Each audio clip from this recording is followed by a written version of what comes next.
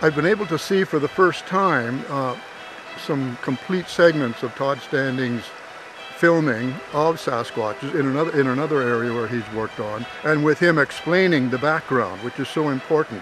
And uh, I'm firmly convinced that he has filmed Sasquatches and that he has what he has portrayed in his documentaries are indeed very close portraits, in fact, of the Sasquatch face. Because if indeed they are, they are clearly some of the most astounding photos of, uh, of Sasquatch in existence.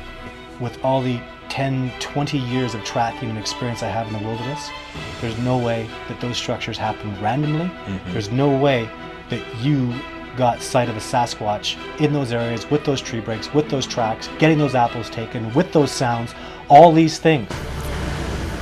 For the past 10 years, I've been conducting expeditions, documenting chronicles, and interviewing people pertaining to the subject of Sasquatch.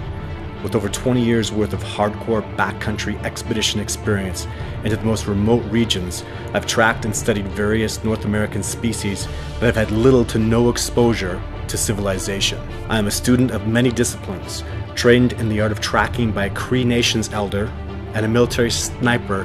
My skill sets include camouflage techniques using the terrain and its features to mask ground movement, obstacle crossing, camping positions, effective observation, camouflage penetration, counter surveillance, survival evasion, and escape techniques.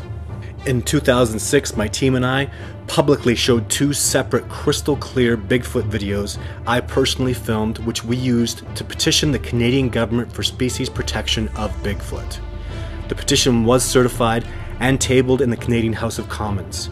The media response was enormous, with hundreds of newspaper, television networks, radio stations, and websites that receptively presented our work across the globe. It was our goal to reach out to the masses about why our group was beginning the struggle for species recognition and protection.